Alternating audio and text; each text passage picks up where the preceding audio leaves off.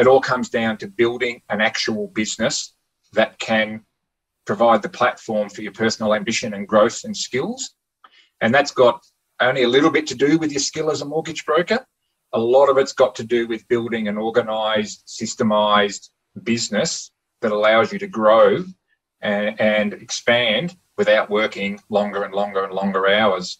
Right? That's mm. that's essentially what everyone's working on. And you know, the problem is, Jack, that in this industry, unfortunately, um, very few people hit the ground running with business building skills or business management skills. Most people come to the industry because they love helping people. They might know something about mortgages or had experience in lending, and they become successful because they're good with people, right? But then they hit a brick wall because there's only so many hours in the day.